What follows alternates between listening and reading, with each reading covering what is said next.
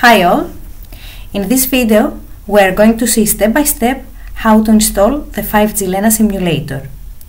First we go to the web page of the 5G Lena simulator. So I click here. Here we click on the get software that redirects us in this page. Here we can find the link of the 5G Lena repository. I will open it in a new tab and also the link for the getting uh, started web page where we can find the instructions of how to download uh, the 5G Lena.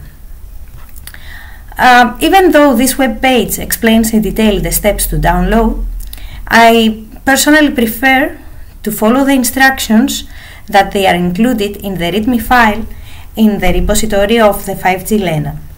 So here we can find uh, details related to the prerequisites of uh, uh, the, the NS3 and also uh, down here we can find a table with uh, that includes uh, details related to the 5G Lena versions and the corresponding NS3 versions that are compatible with and also information about the build system used. So in my case, uh, I have all the prerequisites downloaded. So I will uh, go to the terminal here and the first step that uh, we have to do is to create a folder with uh, the name uh, we want. So for example, I will uh, create here nr, I'm sorry, make dir nr repo. I will enter uh, this directory and our repo and let us see uh, what it says here.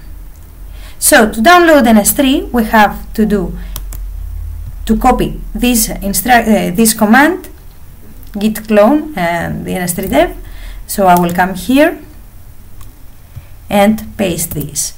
This process will take some time, not a lot so when this uh, process finishes, uh, we go to the next command and we see that we have to enter uh, the ns3 uh, dev directory.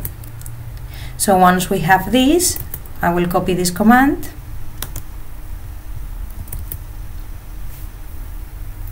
Ready, so now I paste and I enter the ns3 dev directory. So now we are ready to download the NR module. Now what it says is to enter the contrib folder. I come here, I paste this command and we enter into the contrib folder. And we do git clone the NR module. This process is even, even quicker. So continuing with the instructions, we have to switch to the, latest, the latest NR release branch. In order to do so, we go to uh, the NR folder and we do git checkout. Um, currently the latest release is the, dot, uh, the 2.3.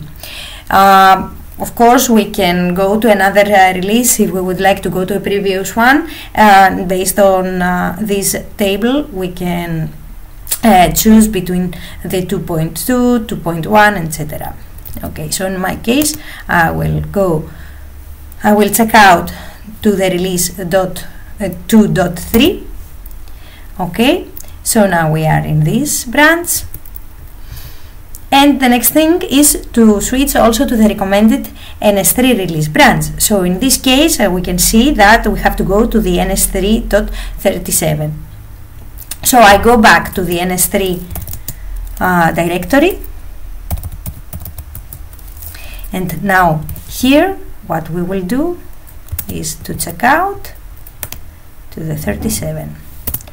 Okay, now we are in a detached state. So we have to create our own local branch. In order to do so, we do git checkout minus b and I will call it, for example, ns3 uh, 37 release. Okay, and now we are in our branch. Once we have this, we can test the installation. So first we have to configure using this command. So I will copy it and paste it here.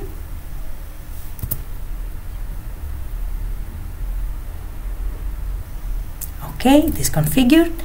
And once we have this, we go to build, to compile the NS3 with the NR. So here we do NS3.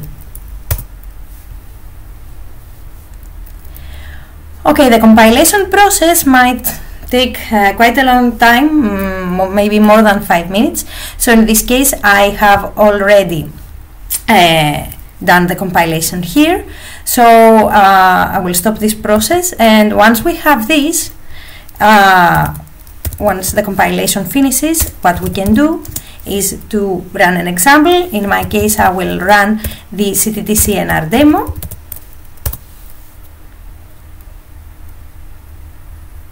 and in a while we will have the results on our screen. So this way we can confirm that the installation uh, has been done correctly and welcome to the NR world.